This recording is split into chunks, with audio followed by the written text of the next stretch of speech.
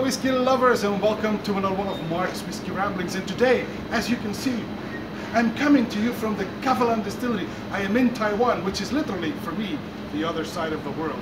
And today I would like to try a Kavalan whiskey. They have several, but let me first tell you a little bit about the distillery. It was built in 2005, so it's a rather recent distillery. And they get their copper pot stills from Scotland, but they also have installed Holstein um, uh, column stills as well. So they can produce a whole panoply of different uh, whiskey styles, including uh, malts, of course. And I'm sure you've heard of the Kavalan whiskey because they've already won numerous international prizes. Did you know, by the way, that Kavalan is actually uh, the old name of the indigenous people who lived here from the uh, Polynesians? They, uh, it actually is derived from their name, which means the people from the plain. But back to the distillery, uh, Kavalan has a whole range of whiskies.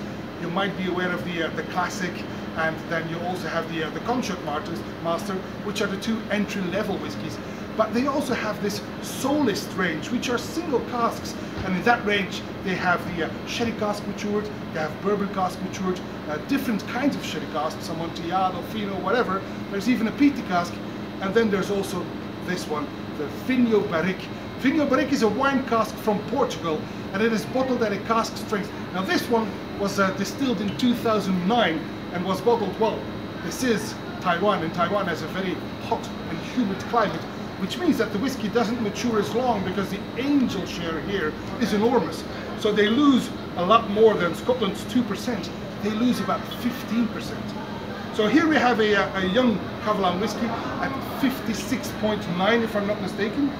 56.9% ABV. Beautiful bronze color, deep bronze, and that's of course from the Portuguese wine cask. So the Kavalan Vinho Barrique at 56.9% ABV on the nose. I get some tropical candied fruit. There's some melon in there, some caramelized uh, oranges, some banana, and maybe even some kumquat. Oh, there's some oriental spices in there, and that's not because I'm in the Far East, it's just in the nose of this beautiful single malt. Right on the palate then.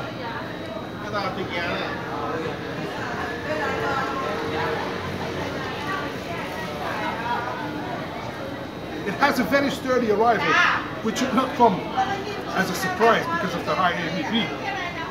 And while the wine is there, it's very well integrated, so it's not disturbing at all.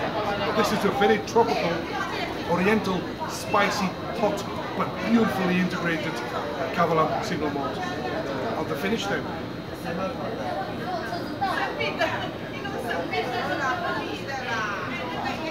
The finish is very long, very spicy, and very satisfying. Wow, what a beautiful malt indeed. Those of you who are malt aficionados, you probably have a whole range of Scotch whiskies that you really like. But if you get the chance, try a Kavalan, because here in Taiwan, they really do know how to make whiskey. And as you can see, there was a lot of people here.